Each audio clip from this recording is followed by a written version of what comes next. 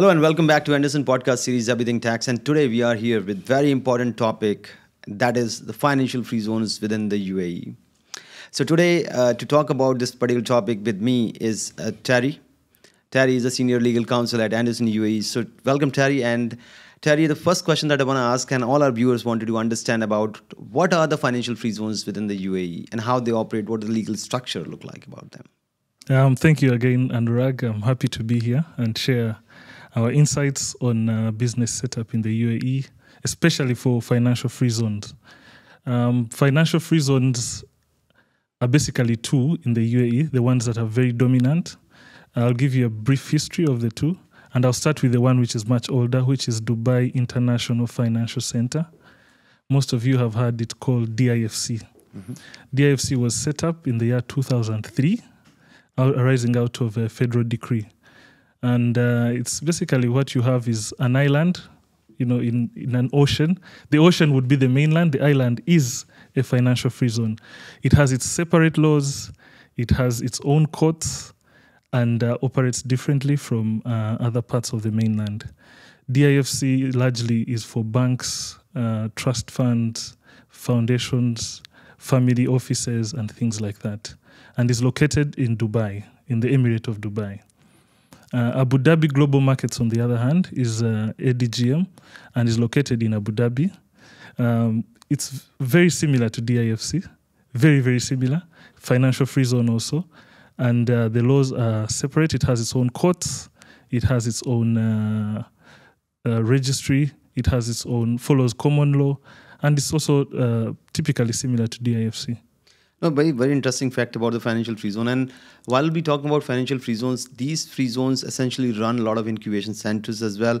So a lot of startups from around the world are making their houses back in either ADGM or DIFC, and and they're finding it much more easier. I mean, the common thing that I heard whenever we talk to any startup and coming out to UAE is that these two financial free zones offers them a legitimate trust because they're governed differently. So Terry, mm-hmm. just help our viewer understand what kind of these regulations are, how they are different, what kind of structures these financial free zone offer to the uh, to the businesses.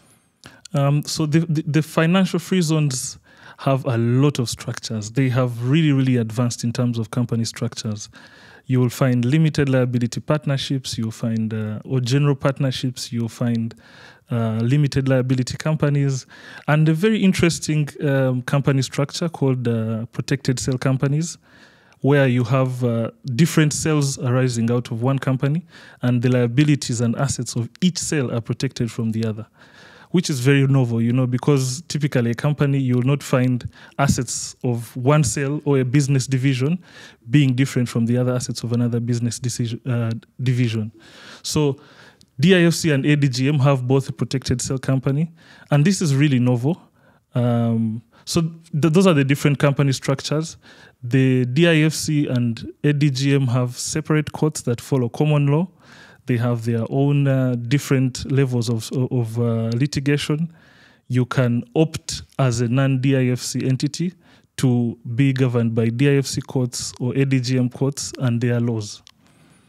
The other thing is that they have uh, very well structured systems.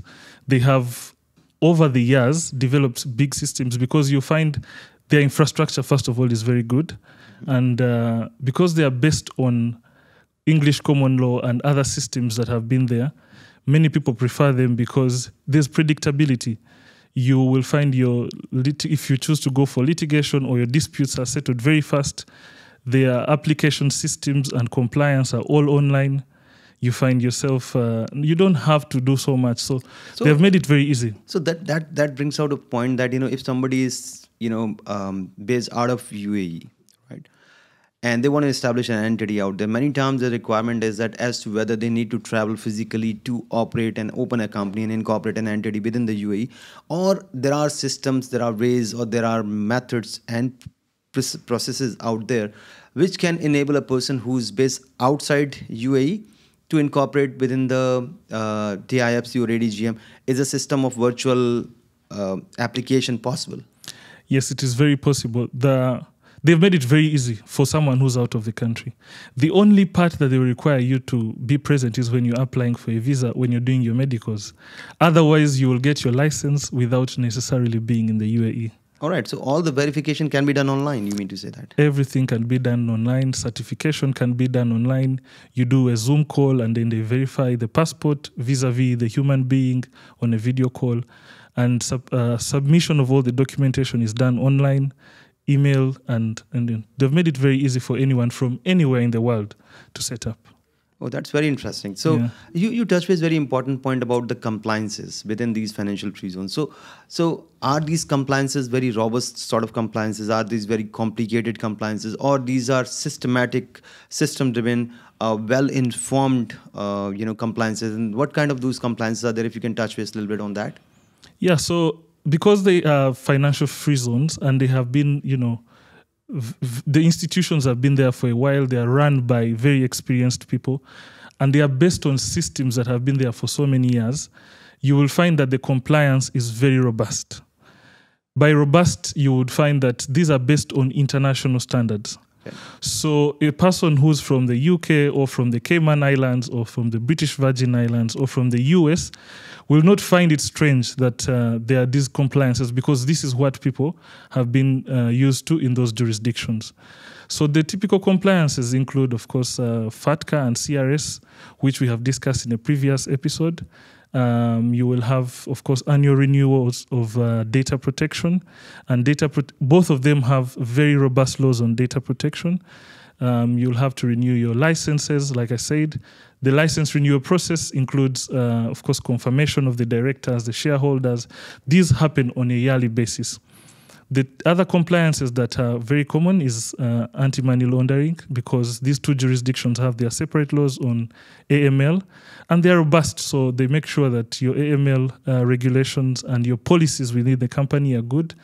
The other compliance is on employment. They have each of them have very clear and uh, well-written employment laws. So you'll find that you know the compliance on that end is also very good. Very important point, and then I, I think uh, you know a very important point for a global part of the world. Essentially, if you see that a U.S. Uh, you know European jurisdiction and Asian countries out there, um, you know the authorities within these countries prefer transparency, right?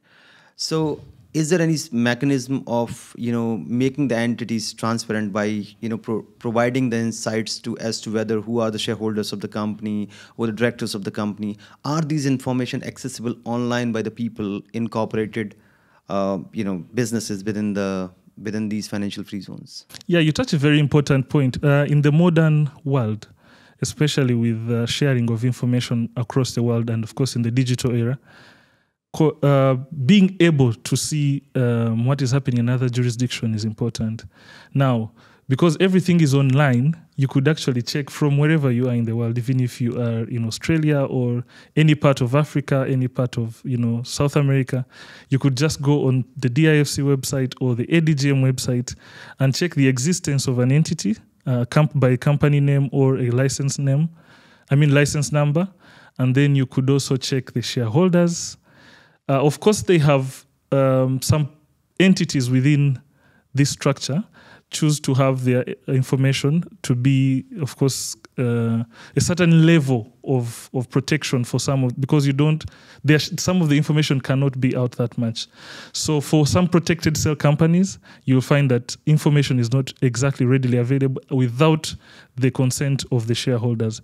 But most of the uh, companies that exist within all the structures, you can find that information online. The shareholders, the directors, and sometimes the uh, ultimate beneficiary owners. Good. And that's that touch base very important aspect as well when we talk about different sort of you know legal structures that is possible.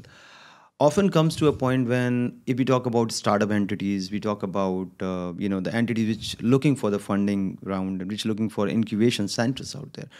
Now these entities predominantly may have a different sort of shareholding structures, not just only the equity shares. Maybe they have preferential shares. They may have a different class of the shares with different sort of rights. So, is that something possible within these financial free zones? Absolutely right. So you because they are trying to attract all kinds of capital, right? And also all kinds of talent. And and that's a very key key thing for a financial free zone and an economy that is progressive like the UAE. So you can have uh, in these spaces, uh, ADGM and uh, DIFC, the different uh, share structures are available. You could have preferential shares, you could have ordinary shares, and much more. So it's acceptable. It's acceptable. Yes. And and people can define different sort of class of the shares with rights, and they can modify as well as these rights as well. You're very right. Yes. Right. And nominee structure is also possible, I believe, right? Yes. So you can have nominalization of the shares, and essentially uh, those are exec- executable, right? Yeah. So for some, uh, there's an extent to which some nominal structures are acceptable, mm-hmm. and there are some which are not acceptable. But largely, uh, you'll find that some are acceptable. All right. mm-hmm. So so you you talked about uh, you know incorporation process. You talk about compliances. You talk about different legal structures, the share share classes out there. Um, I want to ask a question for our viewers. What makes the financial free zone a choice of destination for the businesses that look out, um, you know, for incorporation within the UAE and expandability out there? Mm-hmm. I mean, obviously the tax part, which I'll touch base gradually, yeah. but then besides the tax, what are other areas are there? I mean, so you'll find uh, a very what is happening is that the UAE is part of a new global frontier. So with that, and and and and that's where people are looking at. These are the new areas of investment. So the UAE has been able to put up world-class infrastructure, including airport and connectivity. You could connect to the UAE in, within six hours uh, from Europe, uh, Asia, Africa, anywhere. So that is very key. Number two is the availability of stability. The, the economy is stable. The security is very stable and uh, this is something that has happened within the region. You'll find that stability for investment is very key. And I think I think I also continue to see the number of you know uh, notifications coming from uh, financial free zones with respect to the number of networking events that they organize, uh, number of you know initiatives to support the business, such as like you know having a having a round of discussions, the table round of discussions, promoting the businesses, giving them opportunities to talk about their businesses uh, educate the entire fraternity within the financial free zones that a new business is set up, this kind mm-hmm. of services that they offer. And besides that, they also give opportunities to incubate, uh, you know, to provide a platform so that they can they can expand, they can share that idea with a wider audience around the world. And I believe uh, important aspect to consider here is that you know the entities which established out of ADGM and DIFCs are uh, reputable organizations and they're seen as well compliant because compliance is a key for any investor or any sort of you know big uh, fund house to look into uh, these aspects. And once an organization is compliant raising the capital raising the funds and operating out of you know free zone becomes very essential because these both places um, I think based out of very central location within the within the UAE, yes. Dubai as well as in Abu Dhabi. Yes, and there are a lot of global businesses out there. So you know, uh, you know, finding from a real estate perspective, finding it from a leisure perspective, these are one of the very prominent destinations to look within the UAE as such. Other aspect I want to touch base with our viewers that um, you know uh, these financial free zones offer the foundations. The foundations are basically the structure whereby you can you can create a corporate structure without a share capital right? Yes. And this family foundations allows you a lot of tax incentives because you know the the the the the, the contributors of these funds can elect to choose it being a transparent entity or being a body corporate. And then the certain type of tax treatment can be availed and certain tax exemption can also be availed out there um, so I think I think that brings out another critical point that mm. a lot of viewers want to understand is that what is the cost of operation um, within these financial free zones? The cost is quite minimal. Um, if you look at the international standards generally, the cost is quite minimal, and it is largely based on the economics of the place, the the, the diversity of the place, the idea to bring in as many people as they can from all parts of the world. So the cost is quite minimal. You will you, you're able to set up an entity for as low as maybe two thousand uh, dollars, and depending on the class, if it's if it's a regulated financial institution, up to seventy million. Uh, dollars and also on the lower side up to $2000 and you're able to set up depending on your activity uh, if you're a startup, it's also very, very low. In fact, for startups, there's a startup hub which is there to welcome younger people who are very innovative and, and, and it's very less costly. I think that's uh, that that's that brings these uh, financial free zone quite inclusive. So Very, you, you'll see like you know a lot of banks, a lot of insurance companies, funds houses, family-owned businesses, headquarter businesses, uh, consulting businesses, Yes. right? And and a lot of governance-driven things. Trust operate, foundations operate in these Yes. financial free zones. I think it it makes a preferred choice for those who are looking at stability, who are looking at you know expandability out there, who's looking for a, a right governance. I think the financial free zones are the right choice for them. Yes, they are quite robust. They have been tested.